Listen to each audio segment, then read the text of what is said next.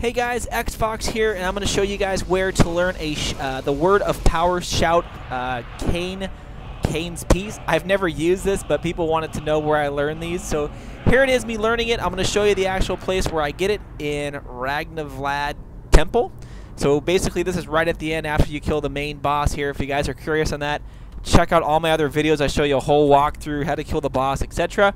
Here it is where you can get it on the map. You don't need a quest to come in here. You can come in here at any time and do it.